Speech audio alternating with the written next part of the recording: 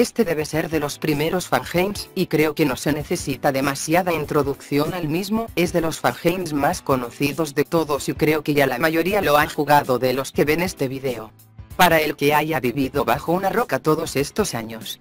Es un fangame de 2015 que tiene de protagonista a uno de los animatrónicos más rumoreados para Five Nights at Freddy's 3, pese a que era un modelo fanmade, estaba también hecho que parecía real pocos meses después del desmadre entre Tyler Armstrong, creador de The Return to Freddy's, y entre el creador de Candice llamado Enil Mako, debido a que Tyler había usado edits de su personaje en The Return to Freddy's 1 y eso hizo que el Emil se emperrara y obligara a no ponerlo más en futuras entregas.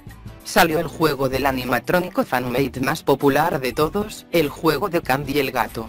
Ahí les puse un contexto que de seguro no entenderán porque lo expliqué de lano, pero ahí tienen todo lo que deben saber, así que pasaremos directamente con la jugabilidad. El juego a simple vista parece un clon de Five Nights at Freddy's 1, y sí. Realmente lo es, pero este mismo le da uno que otro retoque a la fórmula para que no sea exactamente el mismo juego pero con fan characters. Tendremos cosas típicas como las puertas, las cámaras, la energía y varios animatrónicos con los que debemos tener cuidado y cerrarles las puertas cuando lleguen.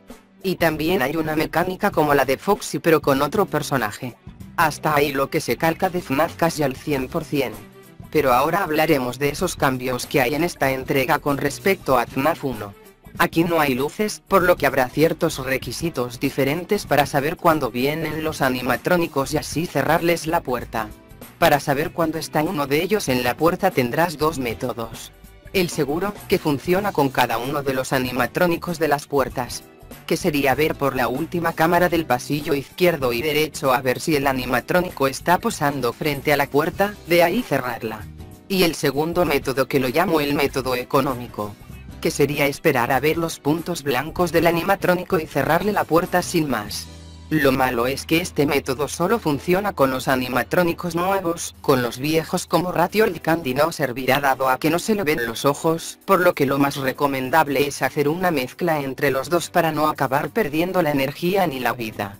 Eso ya le agrega un giro interesante al gameplay, dado a que si bien tienes que hacer lo mismo que en FNAF 1, por lo menos te lo plantea de otra forma más original que en otros fangames donde tienes que hacer exactamente lo mismo que en el juego original. Además cada uno tiene su ligera diferencia para llegar a la oficina, pese a que no sea la gran cosa porque igualmente termina en lo mismo. Candy se moverá por los dos pasillos, Cindy solo irá por uno, Chester será más rápido que los otros, pero no al punto de ser un clon de Foxy. Etc. Hablando de clones de Foxy. Aquí tenemos a nuestro Foxy, pero que funciona diferente. ¿Vieron que al frente de la oficina hay una ventana? Pues esa venta tiene que ver con Blank, el humanoide. Porque no sé qué mierda es Blank pues él tendrá tres posiciones, cuando llegue a la tercera desaparecerá de las cámaras y tienes que ir inmediatamente a cerrar la puerta de la ventana. Si no lo haces, Blank te la romperá, haciendo que tu oficina falle y te mate. En eso se resumen las mecánicas de Five Nights at Candies. Definitivamente se siente el olor a 2015 desde aquí dado a que las mecánicas si bien son perfectamente funcionales y sólidas, con una buena dificultad nada injusta y con un gran dinamismo a la hora de jugar, haciendo que al menos que la inteligencia artificial te haga una mala pasada. En lo general tus muertes serán exclusivamente culpa tuya. Pero eso no quita que sea un clon del primer FNAF con una ventana más y con unos cambios para que no sea una réplica pero tiene los cambios suficientes para hacerse sentir una versión mejorada del original en ciertos aspectos. No intenta ser diferente a base de quitar mecánicas como de Return to Freddy's 2, sino algo como Fred vs. Que es agregar o cambiar elementos de la fórmula original de donde te estás basando. Por lo que si bien no es para nada creativo, el gameplay se mantiene bastante bien hasta el día de hoy y es de los mejores clones del primer juego. Si no es que el mejor. Pasemos con los gráficos. Pues viendo la época en la que se creó este fangame, realmente destacaba del resto. Ya que lo mejor en calidad gráfica en ese momento era de Return to Freddy's 4, para que vean cómo hemos avanzado en el apartado técnico de la comunidad. Five Nights at Candy's representó unos gráficos geniales para en la época en que salió. La pregunta es si se mantienen al día de hoy o simplemente ver demasiados juegos con malos modelos hicieron que mis ojos se rejuvenecieran con este Fangame. Pues algunos de los modelos no envejecieron bien. Candy Cindy tienen una anatomía bastante fea, con unos brazos y piernas demasiado cutres y que parece que simplemente las esferas están pegadas al cuerpo y que no hay un endoesqueleto allí. Estoy seguro que es porque es un trabajo viejo más que nada, pero fuera de la cabeza, los modelos se ven muy simples. Cosa que en Candice 2 no pasarían, dado a que tendrían una mejor anatomía. Otros se conservan igual de bien como que es indiscutiblemente el mejor elaborado de todo el juego y se sigue manteniendo como uno de los más aterradores y originales de Fangame alguno. Blank se sigue viendo bastante genial, más que nada porque está dañado y por sus texturas geniales que lo hacen ver como un moral pero sin ser uno, porque obviamente es un robot. Penguin se sigue viendo bien solo porque es muy simple y bastante bonito. Porque si hubiese sido como Candy no se hubiese mantenido tan bien. En cuanto a Chester y Old Candy, se siguen viendo bien, pero no hay nada que destacar en ellos. Salvo que Chester tiene esos brazos que me no me gustan para nada la verdad, parece un bootleg de los Toys y nada más. Le hubiese quedado bien un brazo sin estas bolas.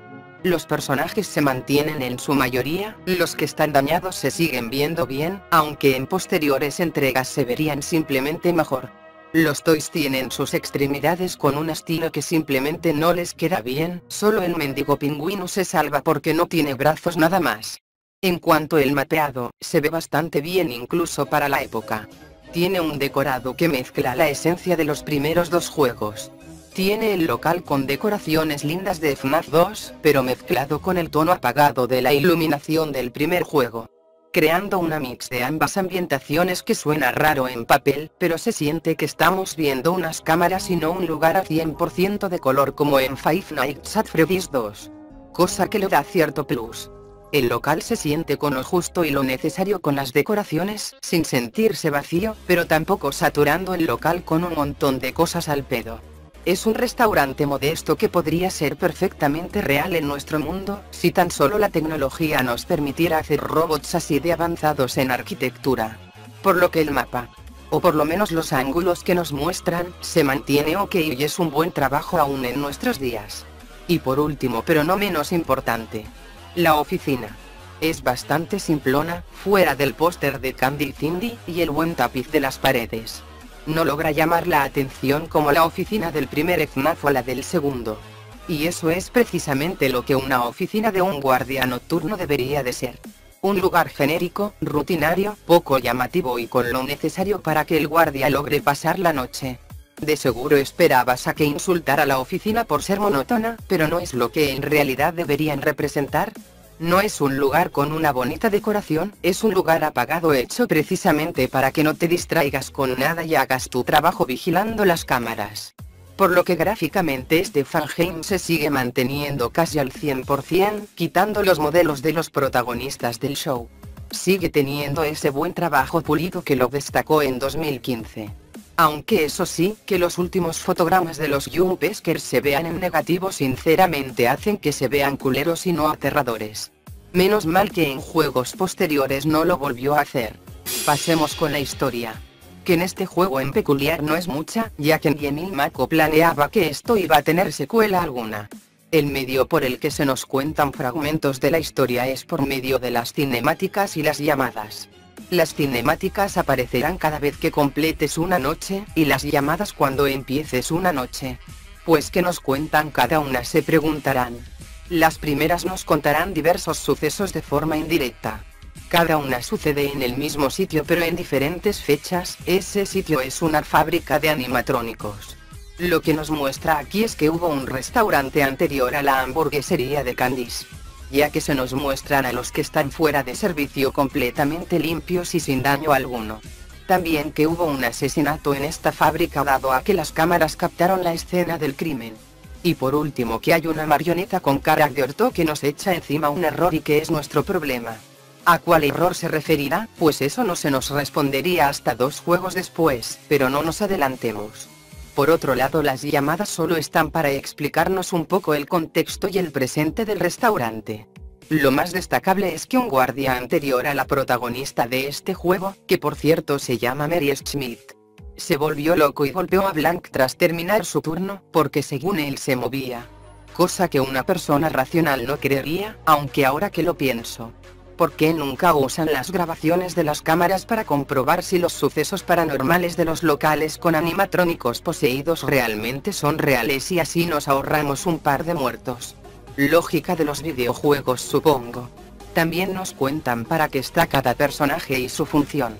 Y por último se nos dice que Mary destrozó a Cindy y a Candy según una nota rosa que aparece al final del juego, por lo que obviamente fue despedida.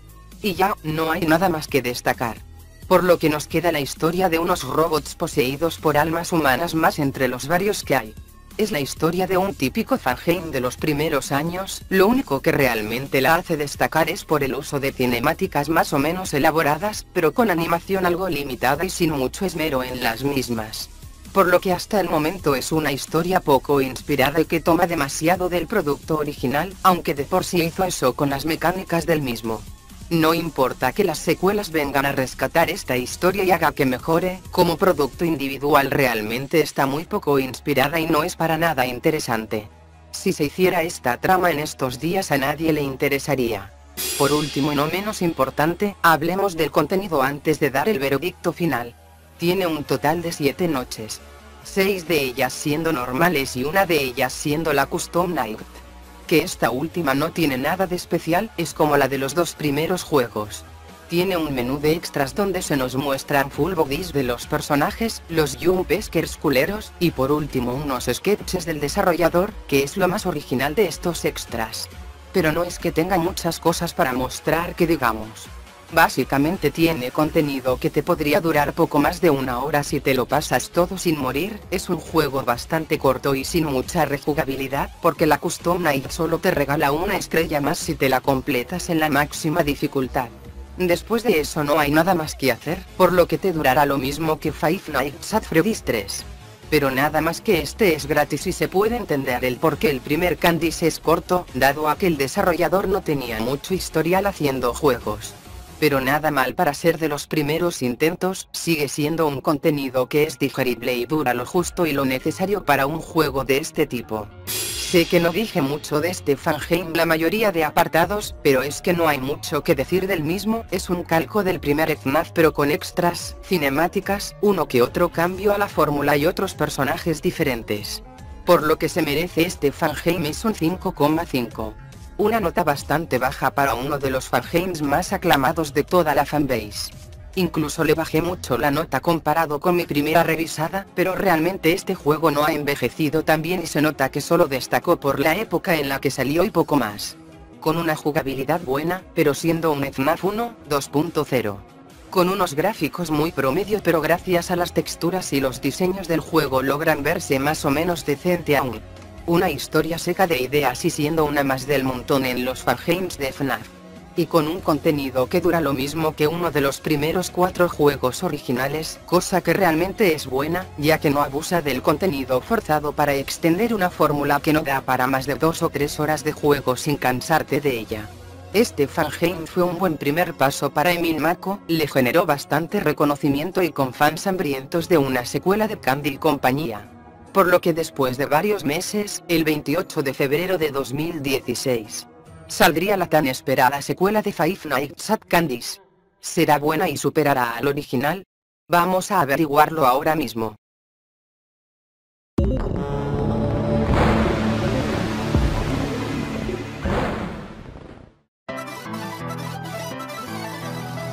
Bien, es hora de hablar de la secuela de uno de los más queridos fangames de la comunidad. Eso significa que las expectativas por este juego son mucho mayores al del anterior, así que averigüemos si Emil Mako logró hacer una secuela a la altura, y preferiblemente que sea mejor que su entrega anterior. Bueno, empezaré con el que me parece a mí el punto más débil de todo el juego. La misma jugabilidad. Antes de que me tiren mierda, déjenme explicarme por qué la jugabilidad de Five Nights at Candy's 2 me parece aburrida, tediosa y mucho más genérica que la del juego anterior. Pese a que esta vez intentó ser más original con su fórmula. Bien, aquí las cosas son mucho más sencillas que en el anterior juego. Tienes tu oficina, tu linterna para el pasillo, tus cámaras y unos teléfonos que serán tu principal método de defensa. Estos teléfonos estarán en las seis cámaras de la fábrica, y los puedes utilizar para alejar a casi todos los animatrónicos del juego. Pero no puedes abusar mucho de los mismos, ya que si los utilizas demasiado se te descompondrán temporalmente y eso es molesto. Podrás atraer a Withered New Cindy, Withered New Candy, Withered Black, Withered Rat y a Withered Cat con solo tocar estos teléfonos. Lo único que se diferencian entre sí es en su velocidad siendo Withered Blank el rápido, y Withered Radical los más rápidos. Los demás son lentos. Entonces es tan fácil como tocar los teléfonos y ya, solo que en cada noche necesitarás más velocidad de reacción para que el animatrónico del pasillo no te mate tan rápido y así poder enviarlo a una cámara vacía. Ya que sí o sí debe de estar vacía para poder mandar a alguien. Pues habrá tres molestias que no son para tanto. Las primeras dos son Chester y Cat. Que querrán romper las ventilaciones de alguna de las cámaras con el fin de hacerte un instaquillo. La forma de alejarlos de allí es por medio del uso del teléfono por menos de dos segundos. La única diferencia entre ambos es que Cat es más rápido que Chester en romper la ventilación. La última amenaza es Withered Penguin, que en simples palabras es un Phantom Balloon Boy pero sin scare y la única forma de enmendar los errores que te hace en la pantalla es esperar. Cosa que al final puede provocarte una gran chance de que acabes muriendo por culpa del pingüino, por lo que es súper importante cambiar de cámara o cerrarlas apenas lo veas, porque realmente te puede perjudicar pese a que no te mate. Y en eso se resume la jugabilidad se ve bastante simple y algo repetitiva, ¿verdad? Porque realmente lo es. Ojo, es algo que hasta los mismísimos juegos originales pecan, en llegar a ser repetitivos después de unas cuantas horas de gameplay. Pero que un Farheim desde su primera noche ya peque de aburrido es que algo muy malo sucede. Muchos fangames tienen el problema de tener una primera noche muy aburrida pese a que el resto del juego sea realmente entretenido, pero por lo menos tienen algún entretenimiento para perder el tiempo mientras los animatrónicos con baja IA avanzan. Como la llamada del tipo de teléfono de turno, la música o la ambientación del mapa. Pero el problema aquí es que no hay llamada, no hay música y la ambientación es completamente vacía y aburrida. La jugabilidad es tan simple y poco inspirada que se vuelve demasiado repetitiva al cabo de tres noches. Literalmente me tomaba un descanso cada una o dos noches que me pasaba, para no perder la paciencia por completo. Lo único que la mantiene un poco interesante es que los animatrónicos se mueven más rápido y por eso no te caes dormido al teclado, pero que casi todos se esquiven igual y que solo haya tres mecánicas en el juego y que dos sean casi lo mismo no ayuda en nada. La única cosa positiva que podría decir es que funciona perfectamente bien y no hay casi bugs.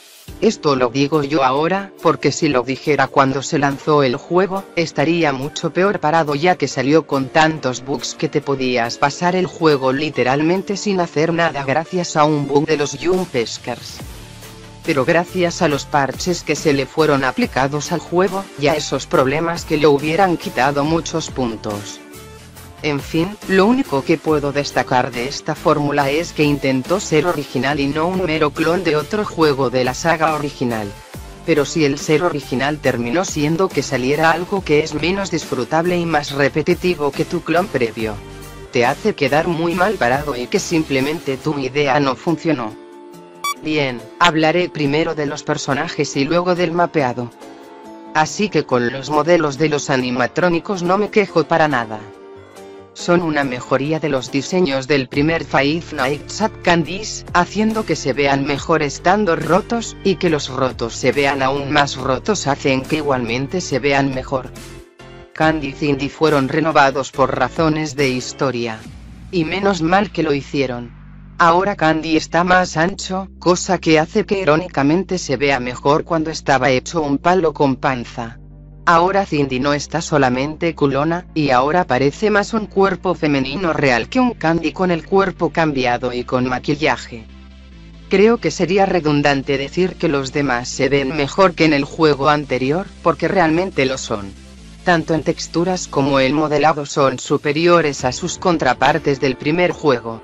Aunque Old Candy no está en el juego, una pena.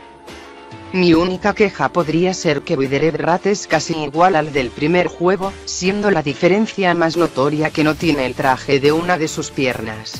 Es decepcionante que no le hayan dado una diferencia más brutal a uno de los personajes más imponentes de los Fangames. Joder que se ve más aterrador el del primer juego, el del segundo se ve que hasta que lo limpiaron. Solo hablaremos del nuevo personaje, que sería Withered Cat. El acompañante de Ratty que vienen del mismo sitio, nada más que salió de la nada porque no sabíamos ni un dato de él hasta que presenciamos su debut. A diferencia de Rat, este no fue ilustrado y se parece un poco al personaje previamente mencionado en el primer Candice. Su modelo está bastante bueno tanto en formas, texturas y diseño de personaje. Es el compañero perfecto para Rat sin dudas, son pan y queso. Los personajes están bastante bien, pero ¿qué hay del mapeado? Pues como dije antes estamos en una fábrica. Hay algo de especial aquí además de que haya animatrónicos con conciencia propia y que representan un peligro para la humanidad en manos erróneas. Pues sí. Pero además de eso no hay nada que destacar en esta fea, genérica y gris fábrica. No se lució para nada para hacer que el ambiente sea mínimamente interesante o aterrador. Se ve demasiado limpia para dar miedo, pero no tiene la suficiente decoración para hacerla sentir viva es simplemente algo sin identidad propia, y creo que hubiese quedado mejor si la fábrica no estuviese tan putamente limpia y tuviera grafitis, escombros y mucha porquería tirada por todo el sitio. Pero en vez de eso Emil Mako se quedó con su fábrica limpia y organizada, pero abandonada y acechada por robots asesinos. Aunque las cámaras se vean bonitas y haya una iluminación que no te la creo en ningún universo sigue siendo un ambiente poco llamativo y desperdiciado. Lo que nos deja en una confusa situación con los gráficos, ya que los personajes están bien. Pero el entorno donde están hace que esto pierda mérito quieras o no, ya que el mapeado también es importante en un videojuego. Por lo que creo que será una especie de 1,5 de 2,5. Pasemos a algo menos complicado de calificar para mí. La historia qué nuevos elementos se introducen al lore de Five Nights at Candy's. Pues a diferencia del anterior juego, aquí las cinemáticas son reemplazadas por minijuegos. Cosa que me pareció medio decepcionante, los minijuegos siguen siendo una buena opción para contar algo de la historia, aunque sea un recurso muy explotado en los fangames. Sorprendentemente este juego expande mucho la historia y nos da saber varios datos del pasado como el que Yadou Candy es algo más que un simple easter egg, sirviendo para controlar a los animatrónicos y poder hacer con ellos lo que quiera. Ejemplo es cuando mandó a Old Candy a atacar a un sujeto que maltrataba a una niña pequeña, por lo que aparentemente es un ser que busca el bien. Pero eso causó que el restaurante original cierre.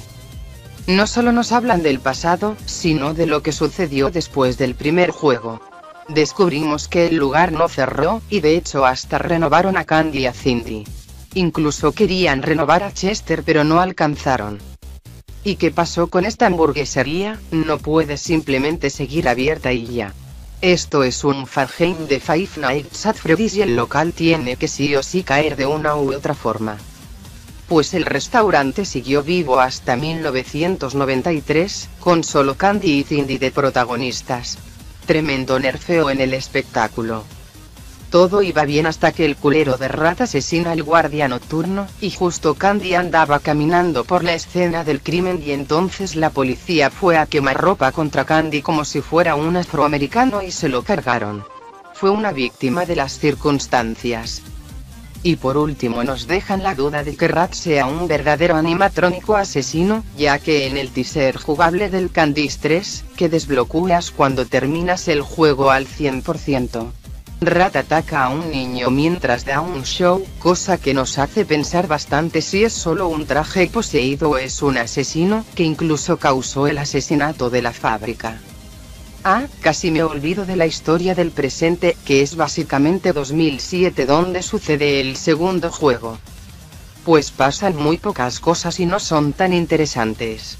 Solo nos enteramos que una adolescente llamada Marilyn, uno muy similar a la protagonista del primer juego, que se llama Mary, entra en una fábrica abandonada lleno de robots asesinos durante cinco putas noches con el fin de cumplir un reto estúpidamente peligroso para que no la llamen gallina. Cosas típicas de adolescentes supongo.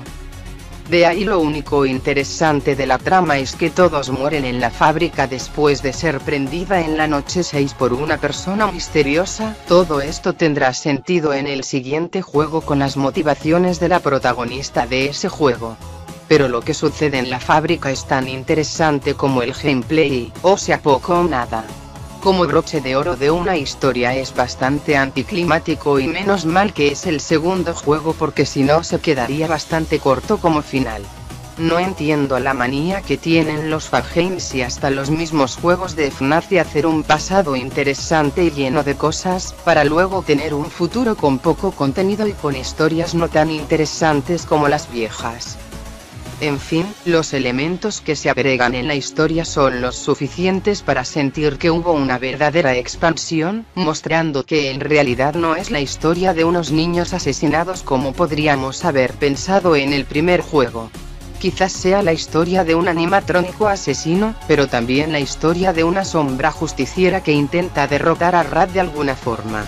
Siento que los datos tienen que ser entrelazados de alguna forma, porque nos cuentan diferentes arcos pero no se sienten que tengan alguna razón tanto lo de Rat como lo de Yadou Candy, al menos que Yadou Candy controle a los animatrónicos y haga que ataque a gente X. Además de que no tenemos ni una sola mención de Vin y la marioneta, haciéndonos pensar que fue descartado de la historia o que ya cumplió su rol, es un problema que creo que ni el tercer juego va a poder justificar, porque allí hay tremendo cabo suelto por lo que Five Nights at Candy's 2 nos tira varios datos, que podemos hacer que se interconecten perfectamente con lo sucedido en el primer juego.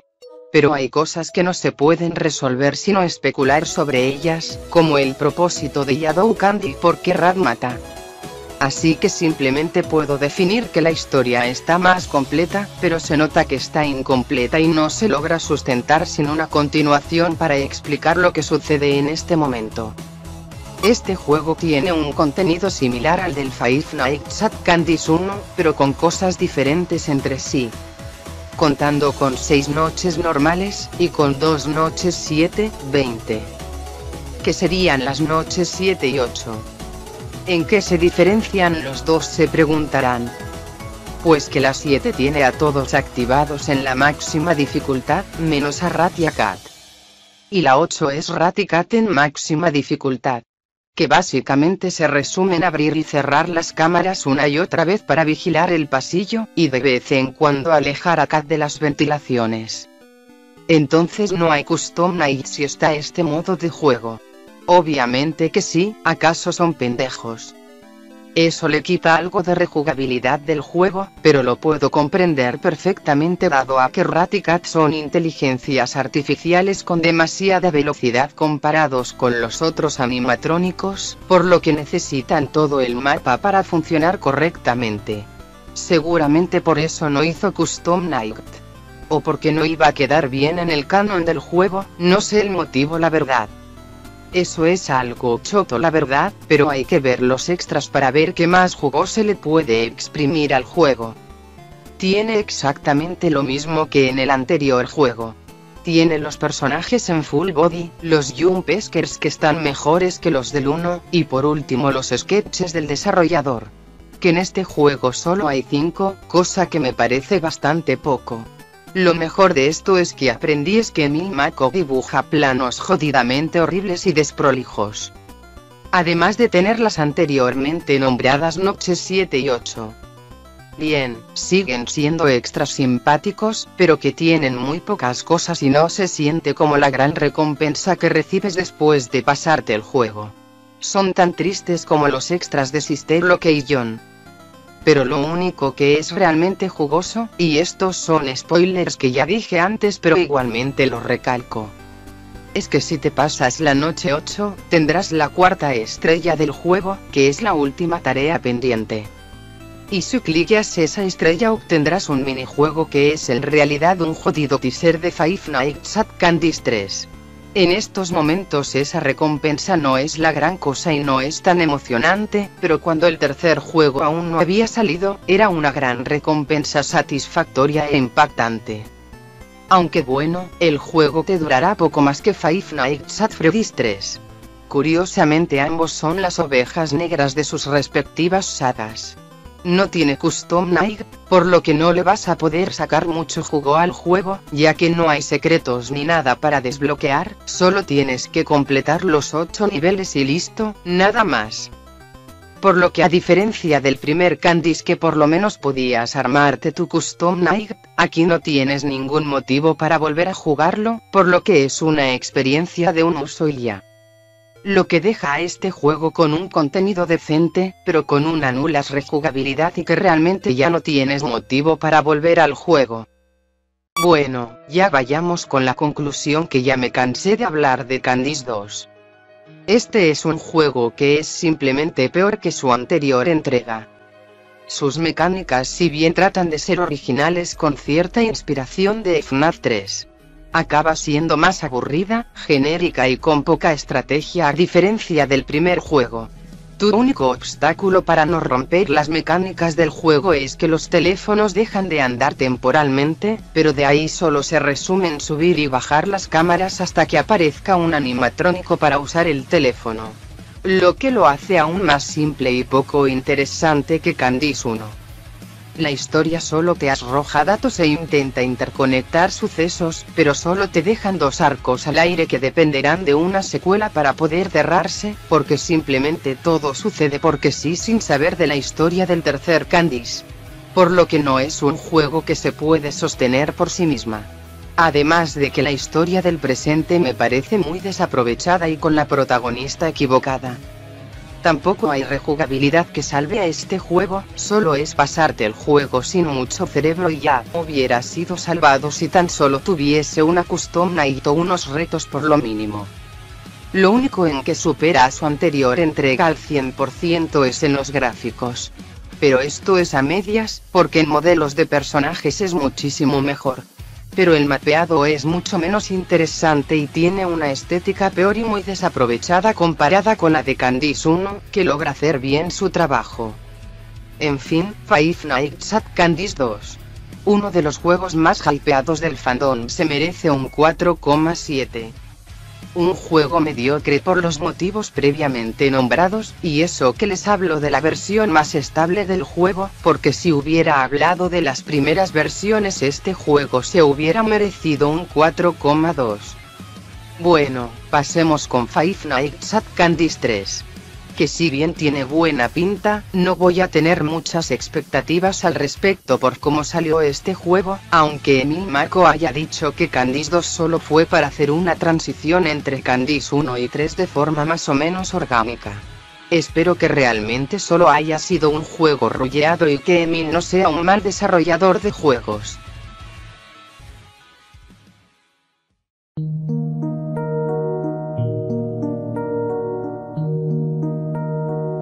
Bien, Five Nights at Candy's 3 salió el 5 de marzo de 2017, más de un jodido año después desde el lanzamiento de su antecesor. ¿Por qué hubo un lapso de tiempo tan largo?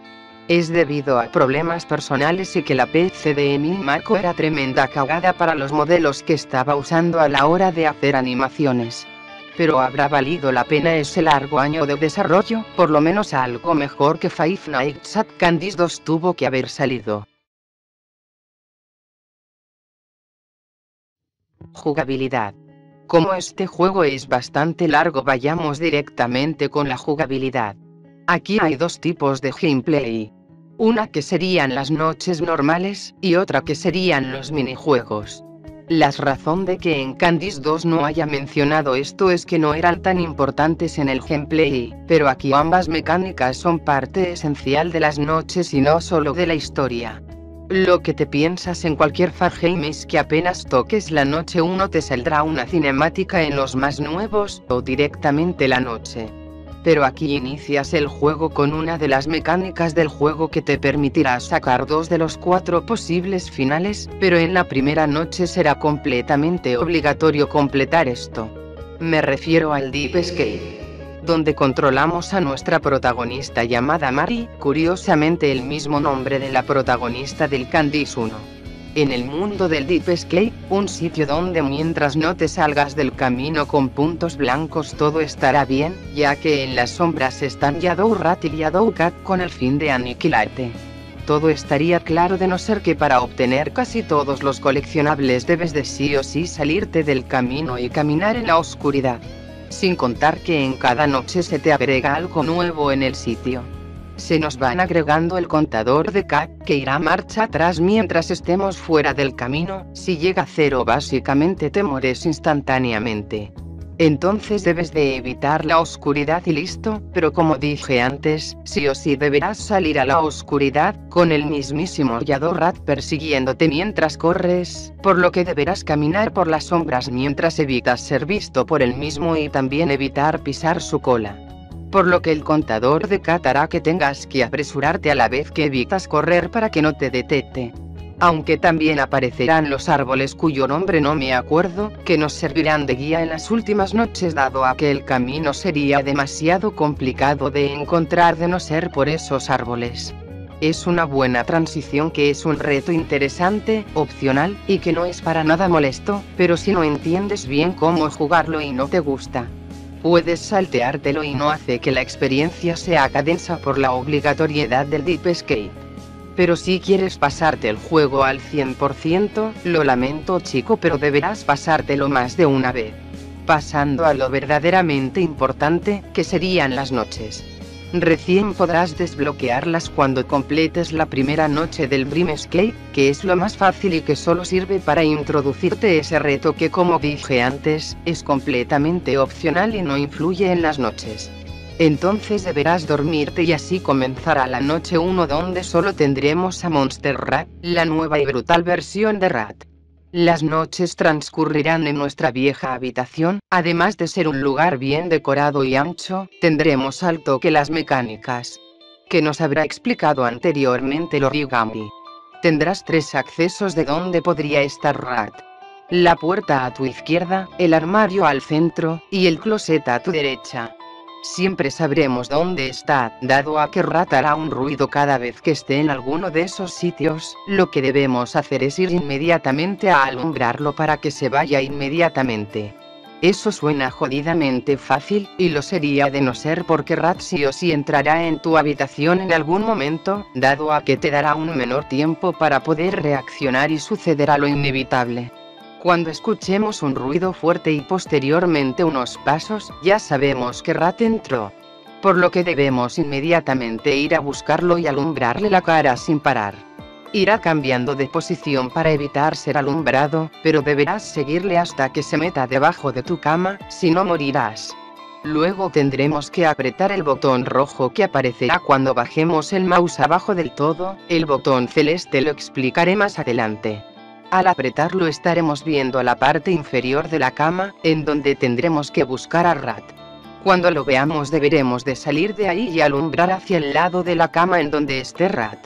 Saldrá una vez que escuchemos un crujido de madera, ahí tendremos que ir al lado contrario de donde lo vimos la última vez y alumbrarlo hasta que se vaya. Eso es todo, es una de las mecánicas más extensas de Fangame alguno, teniendo un patrón que si bien no es difícil de evadir, es algo compleja, sintiéndose más un jefe que un enemigo. Cosa que está perfecta, ya que no hay múltiples amenazas como en previos juegos, solo hay una amenaza letal lista para aniquilarte. Y en cada noche las apariciones de Rat serán más frecuentes, lo que siempre te tendrá en alerta. Aunque hay algo más que me olvidé de explicar, dos cosas más bien. Primero hablaré de este botón celeste que nombré anteriormente, que nos mandará a revisar la parte superior de la cama. En donde estará el reproductor de casetes, Wallman para los hipsters. Está rota, pero sigue siendo funcional, ya que tiene los botones que son convenientemente útiles para el gameplay. Esos serían el botón de reproducir, el de stop y el de retroceder. El de reproducir sirve para que obviamente la cinta funcione, gracias a la música la noche será relativamente más corta.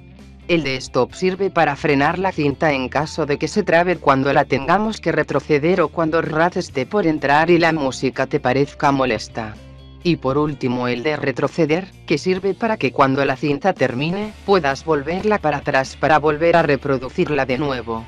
Sé que les parecerá demasiado futurista que en 1963 haya reproductores así, pero aunque no lo crean el primer reproductor de casetes fue creado en el mismo año en el que sucede el juego por la compañía Philips. Es bastante curioso.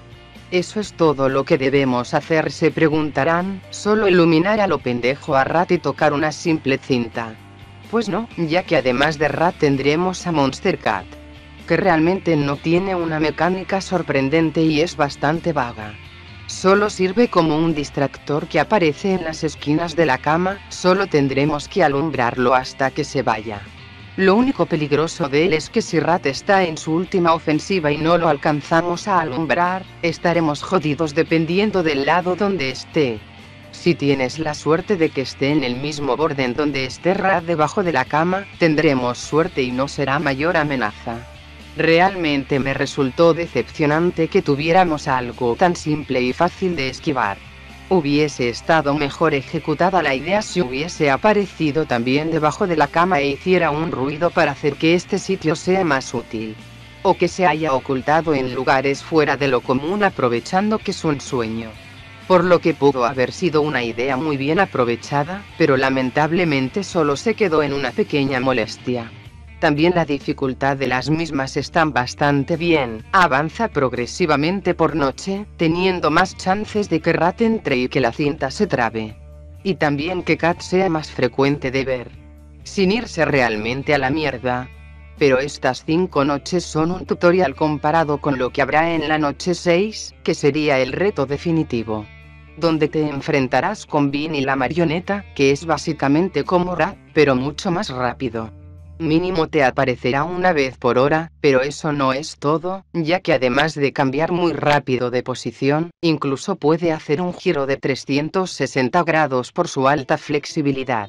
También se podrá mover por toda la habitación, haciendo la batalla de meterlo debajo de la cama muy difícil y tenso, pero después se esquiva como Rat, nada más que tienes que tener una precisión casi perfecta para tener una oportunidad de pasar de la 1 de la madrugada.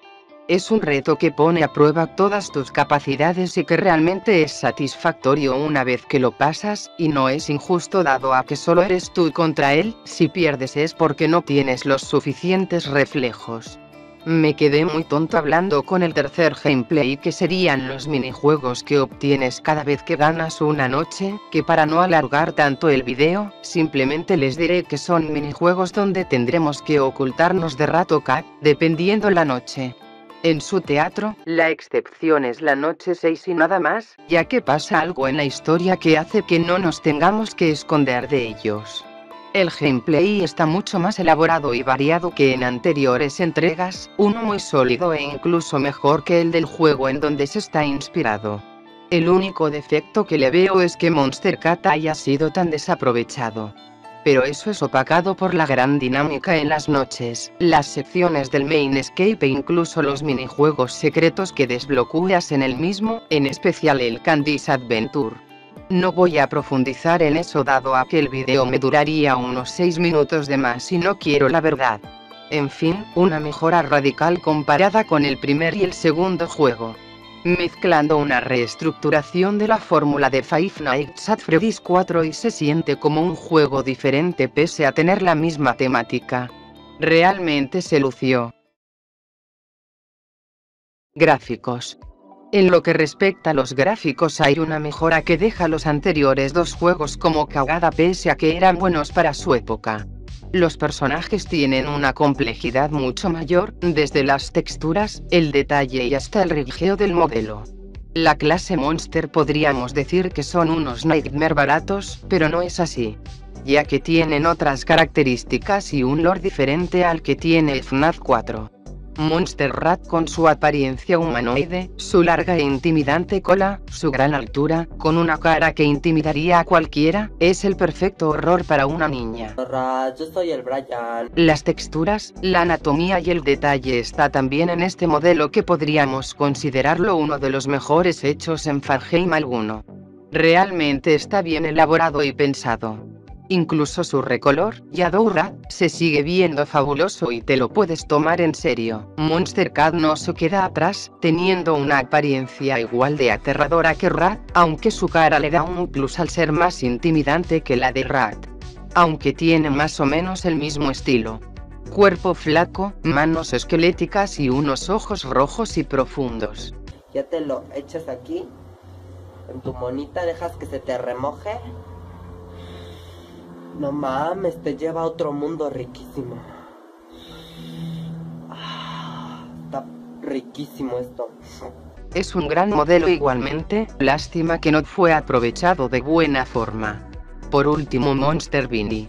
Que este es una excepción a la regla. Teniendo un cuerpo simple, pero sus manos con garras filosas y con su cabeza de madera intimidante rostro. No tiene el mismo nivel de detalle de Katy Rat, dado a que es un recolor de papel rediseñado, pero aún así la estética del modelo y en especial las texturas de la cara hacen que se siga viendo intimidante una vez que estés cara a cara con él, siendo al fin y al cabo la mayor amenaza del juego. Los personajes están bastante bien hechos, pero eso pasó en Candice 2 y tuvimos un sitio de mierda en donde ellos se movían. Vamos a ver si sucedió esto en la secuela. Afortunadamente esto no sucedió, solo tenemos un lugar que esté hecho en 3D, ya que la mayoría del juego tiene gráficos en dos dimensiones. Bueno de por sí todo el juego es en dos dimensiones, pero ustedes me entienden. La habitación de Mary está muy bien decorada, tiene juguetes en el piso desparramados por allí, peluches por allí y por allá, una lámpara, los muebles. Todo está hecho para que sea estéticamente una habitación de una niña cualquiera, y realmente te sientes que estás en una. Los colores, la iluminación y todo en general está muy bien hecho y es de las oficinas, por así decirlo, mejor decoradas y funcionales de los Faheims en general. Es un sitio agradable y digno de una niña, no como esa cagada de la habitación de FNAF 4 que parecía más la habitación de un adulto pero con juguetes tirados por ahí. Aunque las referencias a usuarios de la comunidad de FNAF puedan romper un poco el ambiente, como el títere de Gauco, esa decoración de Jacksepticeye, y ese peluche de Smile distraen un poco. Pero si logras ignorar eso al no conocer las referencias, se te hará un lugar que si bien no es súper memorable e icónico, sigue siendo bien trabajado y hermoso.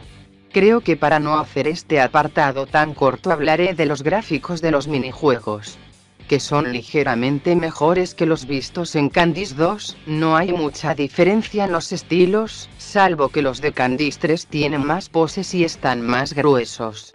El teatro de Raticat lo siento vacío, aunque es algo que en los minijuegos del Candice 2 ya ocurría lo mismo. Siento que puede mejorar en la decoración del sitio, ya que se siente demasiado vacío y con pocas decoraciones. Aunque los de los minijuegos desbloqueables están bastante bien detallados, por lo que creo que simplemente no tenía mucha idea de cómo decorar el interior, ya que los desbloqueables tienen un pixel art muy bueno, aunque Candice Adventure sea muy simplista dado a que hace referencia a los juegos de la NES. En conclusión, Emil Mako logró superarse una vez más tanto en sus modelos, detalles e incluso en el pixel art mostrando que el tipo tiene un gran potencial como diseñador, aunque como dibujante deje que desear a veces, pero como no hay dibujos que sean parte fundamental en el juego esto no afecta en nada. Simplemente este sujeto tiene potencial y Candice 3 es su máximo exponente de hasta dónde puede llegar, aunque aún falta Five Nights at Candice 4. Hay que ver qué tanto mejoró desde aquí hasta allá. Historia. Pasemos con la historia del juego, que tiene la gran tarea de unir los sucesos del primer y segundo juego para sentir que todo está conectado desde un punto de origen, que sería este. Y no decepciona para nada. Resuelve varios datos para la historia y de paso logra mantenerse como una historia propia sin depender de sus otras entregas. La trama principal del juego sucede en el teatro de Raticat, en donde pasaremos día tras día jugando con las botargas a las escondidas, hasta que un día Mary entra a la sala de empleados para esconderse en el closet, donde presencia el asesinato de los hombres dentro de las botargas por manos del titiritero, que en busca de hacer lo correcto acaba haciendo todo lo contrario para salvar su pellejo. Suena algo que muchos de nosotros podríamos llegar a hacer en una situación desesperado, se te escapó un poco de profundidad ahí de Emil Mako. Después de ese suceso, acaba yendo con el psicólogo para lograr olvidar sus fuertes traumas y dejar las pesadillas aparte. Entre medio es ayudada por el origami de Candy que es nuestro guía en el Mind Escape. Es la historia de la superación de una pequeña niña, está bastante bien el concepto pese a que no tenga mucho desarrollo y complejidad. Es algo simplona pero sus ideas diferentes a otros fangames las hacen tener más toques de originalidad. Siento que no pasa mucho noche tras noche, podríamos haber obtenido más intercambio de diálogos entre el psicólogo y Mary, pero entiendo por qué no pusieron de estas, dado a que harían demasiada largas las transiciones de noche a noche. Como historia de origen está bien, aunque sea algo simplón ahora que lo veo hoy en día. Lo que más importa es lo que sucede antes del juego, como casi siempre pasa en cada fangame existente de FNAF jugamos a las consecuencias de una historia y no la historia. Por lo que la única puta motivación que tenemos es saber qué pasó antes y no importa mucho lo que estemos haciendo ahora, cosa que es un fallo en cómo repartió la historia Emil Marco en el título, aunque es un error que incluso peca la saga original. También se nos cuentan otros datos de la historia en algunos minijuegos, como que Rat fue el responsable de la muerte de las almas de Candy Cindy, junto a la muerte de un guardia. Y un minijuego sin sentido donde vemos a Vinny haciéndose triste frente a una mujer. Bueno, tampoco es que hace muchas cosas más, porque no había mucho más. Solo nos quedaba saber el origen y quiénes son Rat, Shadow Candy, Cat y Vinny. Todas fueron respondidas aquí, bueno excepto quién es Shadow Candy, eso quedó al aire y no fue contestado incluso a día de hoy. Pero sigue haciendo un gran trabajo contestando dudas, pese a que la historia del tercer juego pudo haber tenido algo más de profundidad en el presente con la relación del psicólogo y Mari, pero no todo es posible en esta vida. En fin, es una historia que pudo haber sido mejor desarrollada, pero definitivamente cumple en ser el origen de todo y de paso llenar algunos agujeros de anteriores entregas, cosa que Candice 2 no logró hacer tan buen trabajo. Por lo que es una trama decente y redonda, pero que pudo haber hecho alguna que otra cosa mejor y queda un agujero de trama tan grande como lo es Shadow Candy y el minijuego secreto de Vinny. Contenido. Pasemos por último con el contenido de este juego. Hay un total de 5 noches con Raticat, una noche con Vinnie. Cada una de esas noches cuenta con una transición sea cinemática o minijuego. Calculemos que con solo eso tenemos más de una hora de gameplay y así no más y sin morir. Cosa que para un fangame de FNAF sería el promedio de duración, pero esperen, aún hay muchas más cosas que ver ya que tendremos cuatro finales distintos que desbloquear, lo cual le da más rejugabilidad.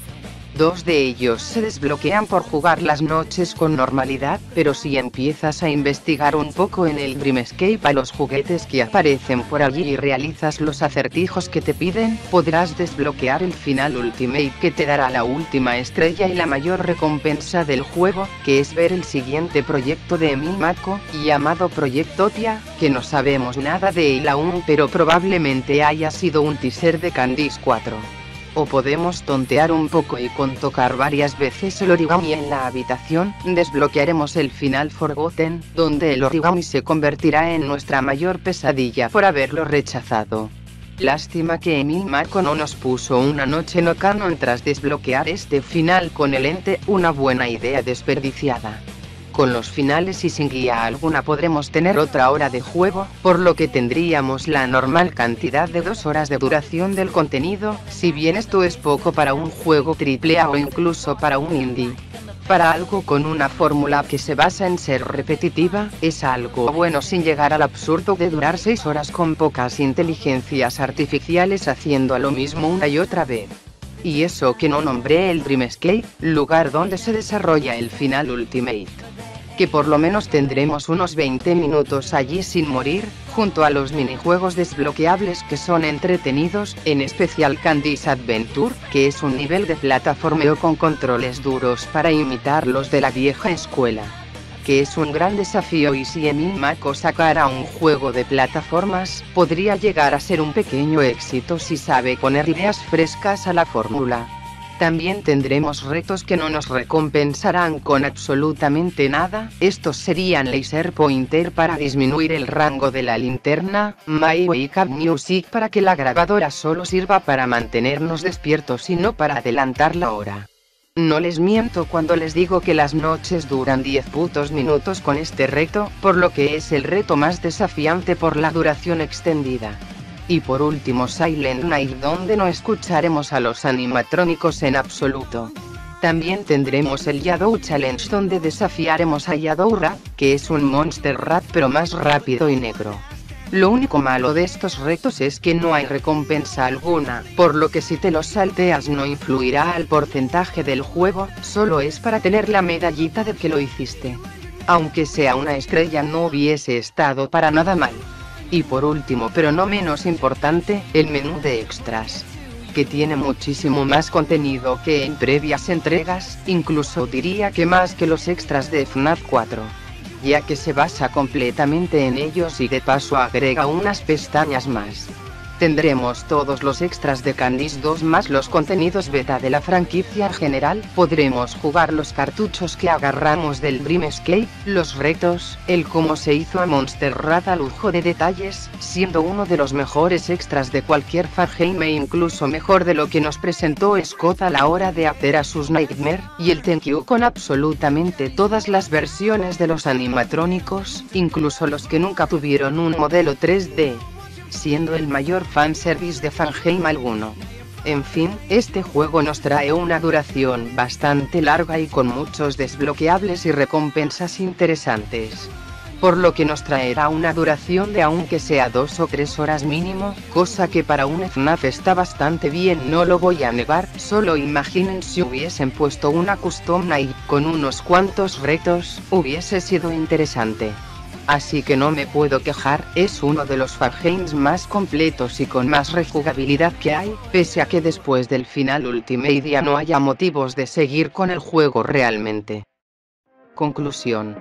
En conclusión, Five Nights at Candy's 3 nos trae un gameplay que si bien es inspirado en FNAF 4, logra diferenciarse bastante y tiene unas mecánicas simples pero sólidas. Junto a una muy buena dificultad progresiva tiene una mejora gráfica considerable y no parece que estuviéramos en un juego con imágenes superpuestas una encima de la otra y su ambientación está bastante bien, y lo mismo digo de los minijuegos. Logra atar muchos cabos sueltos de la historia, y nos da por fin el origen de Raticat que era lo más necesario para concluir la historia. Aunque deja el misterio de Yadow Candy al aire, y que probablemente se resuelva en la cuarta entrega y tiene una de las mayores duraciones de Fangame alguno y un buen puñado de contenido adicional tras pasarse todas las noches. Esto no lo pueden decir tantos Fangames, solo Dormitavis que lo supera con creces en cantidad de contenido y rejugabilidad. Todo esto logra culminar en una secuela perfecta en todos los aspectos en comparación con sus previas entregas, siendo lo más alto que haya llegado a Mil Mako hasta ahora, y espero que con Candice 4 logre subir más la barra de calidad. Five Nights at Candice 3 se merece un 8,5 uno de los mejores fangames que haya hecho la comunidad de Five Nights at Freddy's y un gran ejemplo de cómo hacer uno.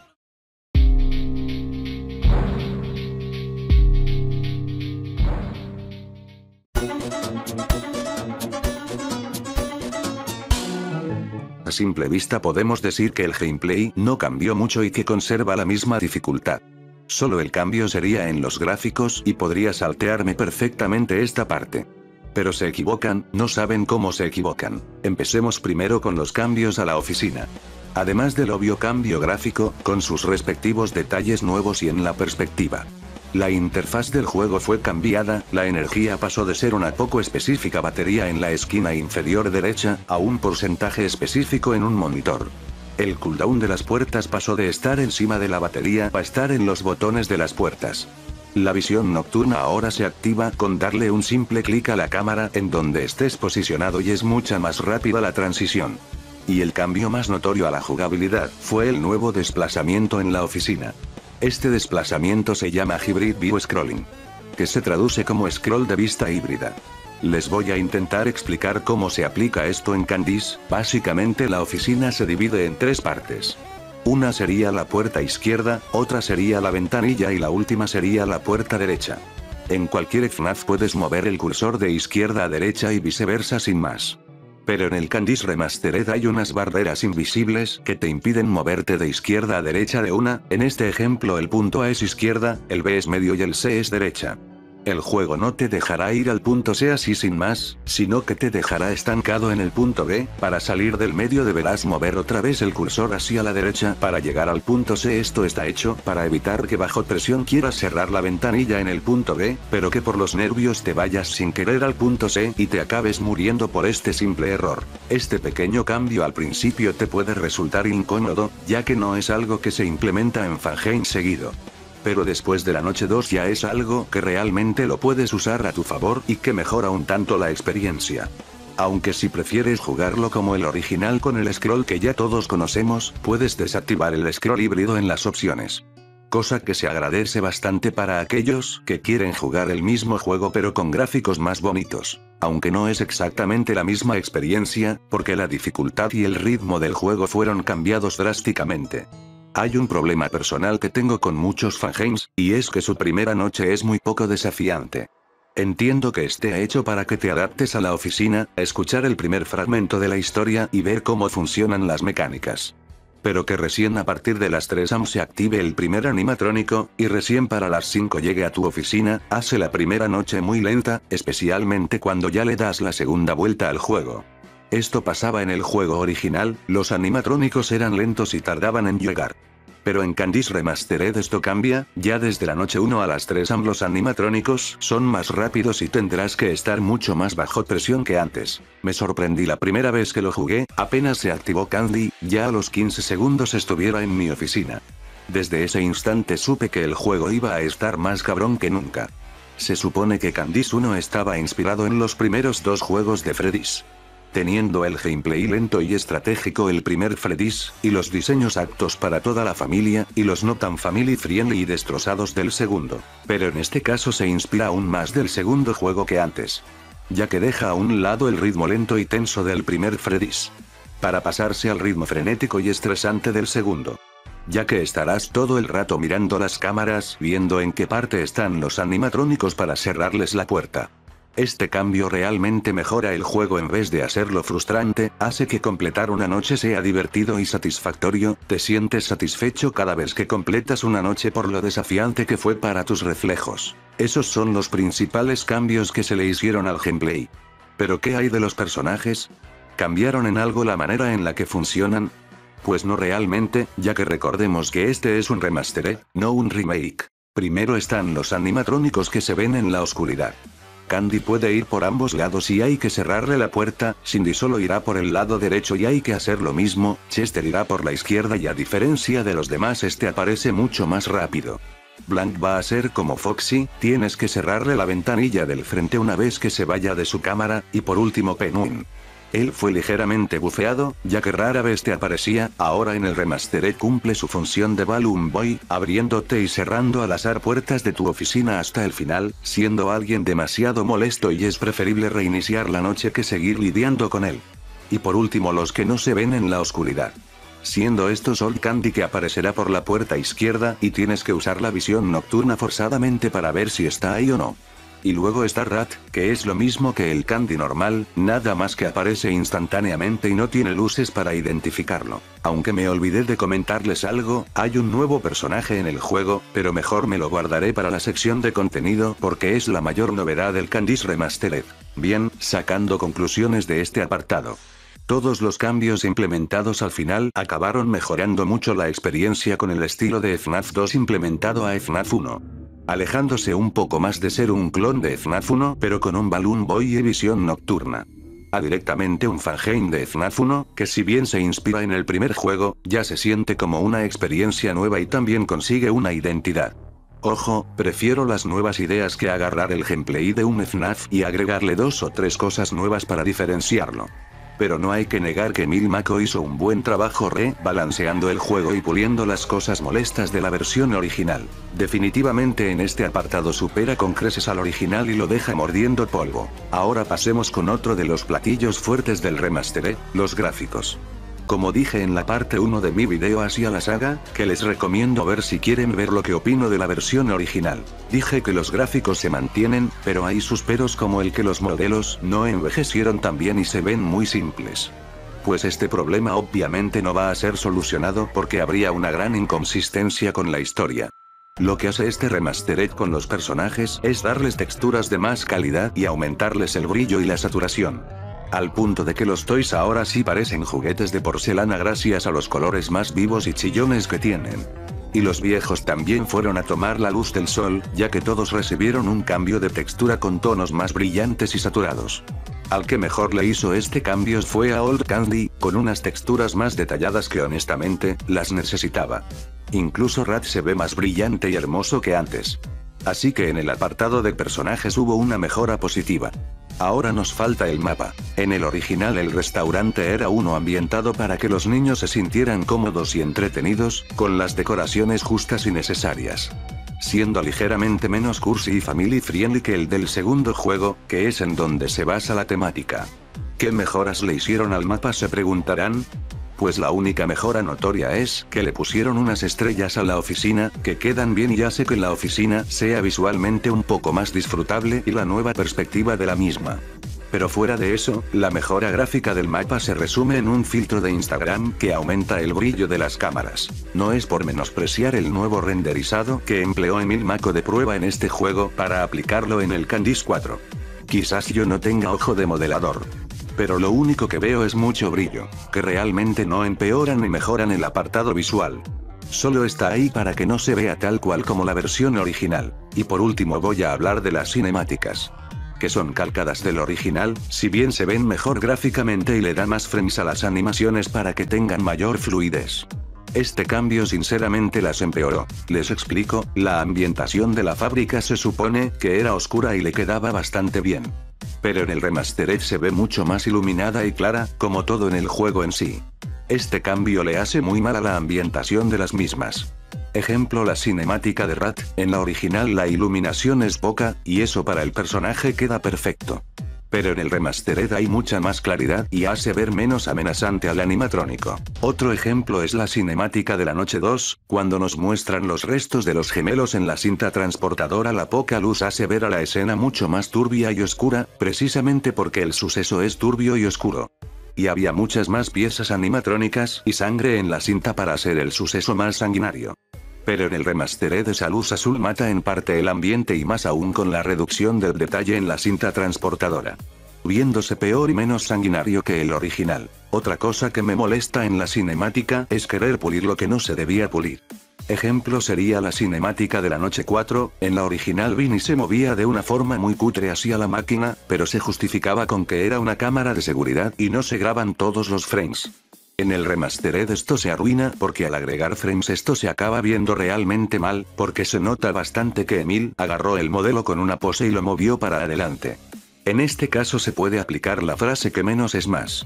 Y esta frase la puedo volver a aplicar en el momento cuando Vinny nos dice su única frase en el juego. En el original se nos mostraban las palabras con una fuente de letras desprolija y que no paraban de parpadear. Generando más ansiedad e intriga ante el jugador.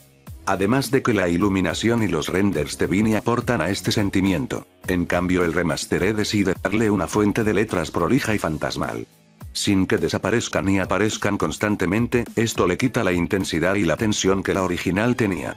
Y la iluminación tan clara que se le da a la cinemática no ayuda en nada, quitándole la intimidación que te daba Vini en el original. Como dije antes, a veces menos es más. Y en la cinemática de Rat pasa lo mismo. El final de la original salía Rat haciéndonos su jumpscare con unos frames faltantes, ya que recordemos que es una cámara de seguridad antigua, no todos los frames son captados. Pero en el remastered de 1000 decidió agregar una cutre animación de Rat agarrando a la cámara, dando un final menos choqueante y más anticlimático que el original. Eso aplica en casi todas las cinemáticas, Emil intentó hacer que se vieran mejor y más pulidas.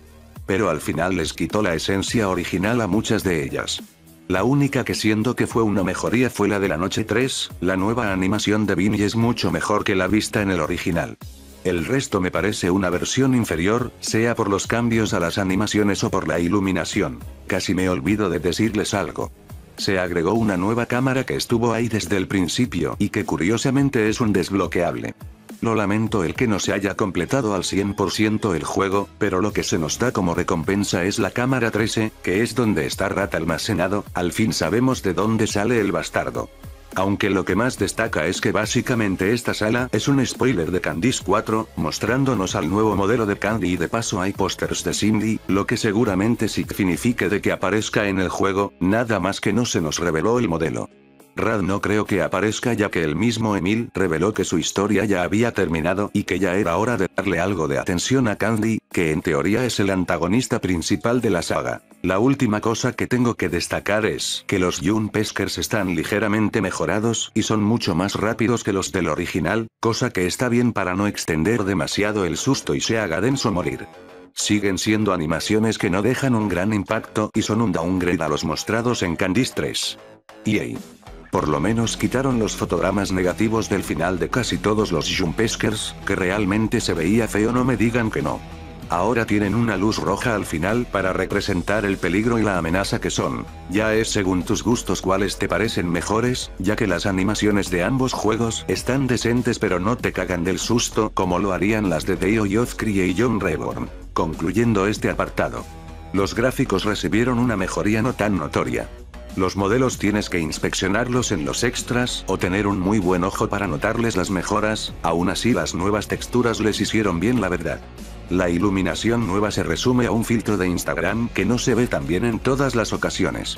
Y los June Peskers, no tuvieron una mejora tan sorprendente, salvo lo del remover el fotograma negativo del final. Si en el video anterior hubiera calificado a los gráficos con un 1,5 de 2,5. En este caso lo calificaría con un 1,7 de 2,5 la verdad.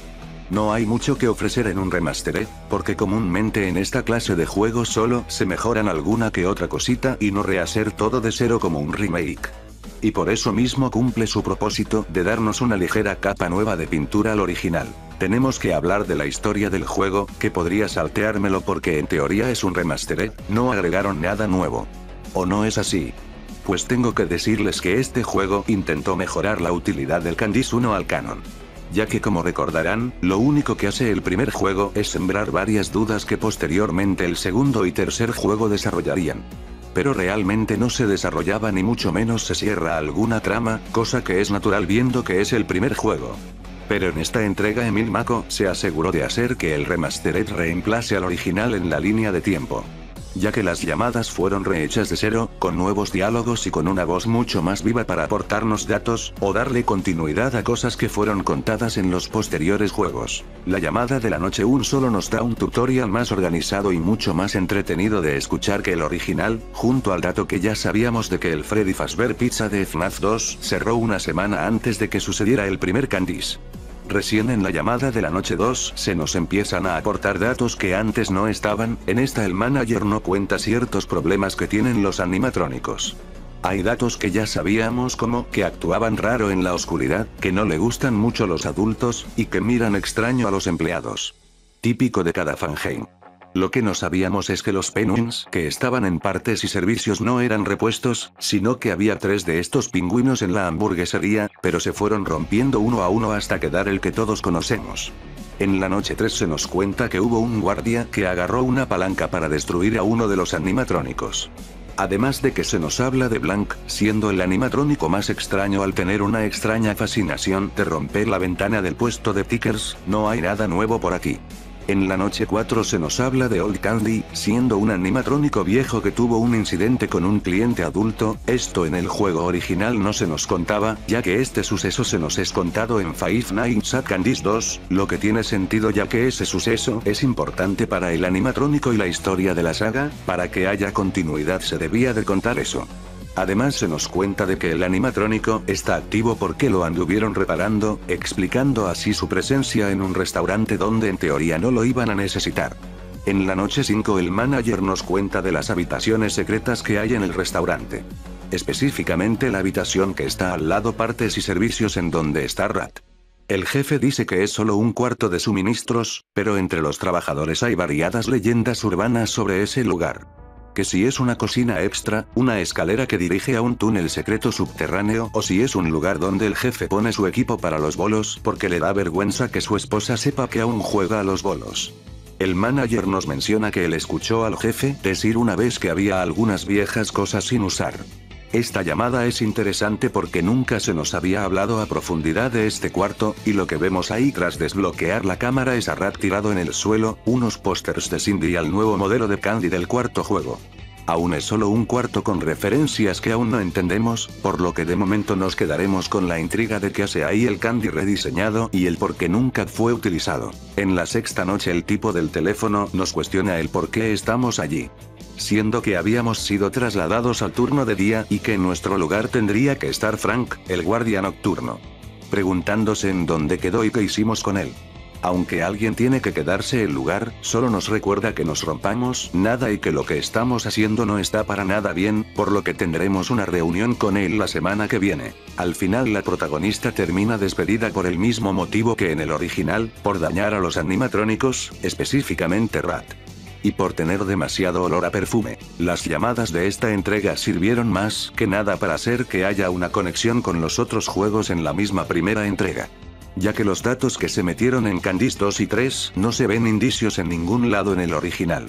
Este remastered se encarga de hacer aquellas conexiones que faltaban y además de agregar un nuevo elemento al lore, la cámara 13 y el póster del nuevo Candy. Pero para eso hay que jugar al Candice 4 y se quedará al aire la identidad del mismo. Ahora vamos a hablar de las cinemáticas. Cuentan exactamente lo mismo.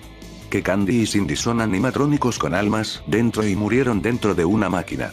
Y que Vinny cometió un error, siendo el asesinato de los empleados que manejaban a Raticat, ahora llevándonos la responsabilidad de su error hacia nosotros. Lo único nuevo que metieron al lore es la cinemática que completas tras la noche redactada. Es una cinemática inspirada en el intro de SL, que nos muestra a un personaje de nombre desconocido haciendo al nuevo Candy un animatrónico perfecto y avanzado, estando ya jodidamente agotado pero determinado a terminarlo. Aún no sabemos el fin de esta cinemática, solo sirve como un teaser del Candice 4 como recompensa de haber terminado la noche redactada. Eso es todo lo que agregaron, sinceramente no es que Emil hizo un gran cambio al lore con esta entrega, pero tampoco debía. Agregó unos detalles por ahí y por allá para que sea más concordante la trama. Se sigue manteniendo como una historia estándar sin algo que destaque realmente, solo el Candice 3 introdujo elementos realmente interesantes a la trama y que no fueron tan clichés. Si bien una mejora es una mejora, mi opinión sobre la historia permanece casi intacta sigue siendo muy poco original y se basa demasiado en cosas que pasaron en los primeros tres juegos, les faltó una mordida y tenían todos los elementos de la trilogía original. Por último hablemos del contenido, que es bastante similar al del remastered. Conteniendo 7 noches. 6 siendo las que son parte del modo historia y la séptima que es la noche customizable. En la pestaña de extras tenemos casi los mismos extras que el original pero con unos cambios minúsculos. En la pestaña de personaje podremos hacerle suma a los renders de los mismos. Siendo una función que nunca había visto antes en Fangames. De hecho pude ver lo detallado que está Blank gracias a esta función y me pareció una buena idea implementarla. Tendremos una pestaña exclusiva de esta entrega, que es el menú de comparaciones, donde podemos comparar los renders antiguos con los nuevos. Cosa que también me parece bien para ver el antes y el después. De hecho gracias a esta pestaña logré encontrar el equilibrio perfecto para Candy y Cindy entre las texturas apagadas y las ultra brillantes. Básicamente las texturas del Candice 2, esas sí estaban buenas. Y por último tenemos el apartado de jumpscares que literalmente es solo eso.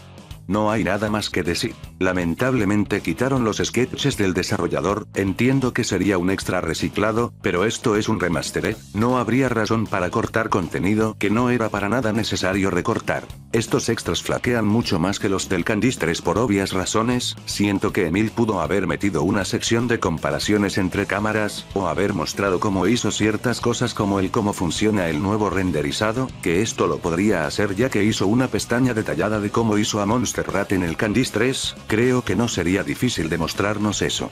Aunque bueno, no me quejo ya que el Candice original no tenía muchos extras, no era tan necesario darles más. Creo que ya terminamos, ahora pasemos con la conclusión. Esperen, ¿qué fue eso? Prendan las luces. Pues ahora pongan la pantalla. Verga, ahora pónganme sobre el fondo. Oh, casi me olvido de ti. Tengo que hablarles de la noche redactada, mejor conocida como la noche Shadow. Teniendo de protagonista a Shadow Candy y es la mayor novedad del remastered. Para tener acceso a esta noche, debes ir a los extras y quedarte mirando a Rat durante unos pocos segundos. Luego de eso empezará una cinemática en donde Rat no parará de retorcerse mientras que nos da una serie de números completamente random por lo que sería bastante raro que a una persona le toque el mismo código que a otra. Este código servirá para insertarlo en la Custom Knives. Cuando ingresemos en la misma, tendremos que ir al escenario de Cat y Cindy para encontrarnos con una curiosa sorpresa. Yadou Candy reemplazará a estos dos animatrónicos. Una vez bajemos las cámaras aparecerá en nuestra oficina y nos dará un jumpscare, a continuación empezará una noche oculta en el juego en la cual las mecánicas cambiarán para adaptarse a un solo animatrónico. Puedes cerrar las puertas, ver las cámaras y usar la visión nocturna.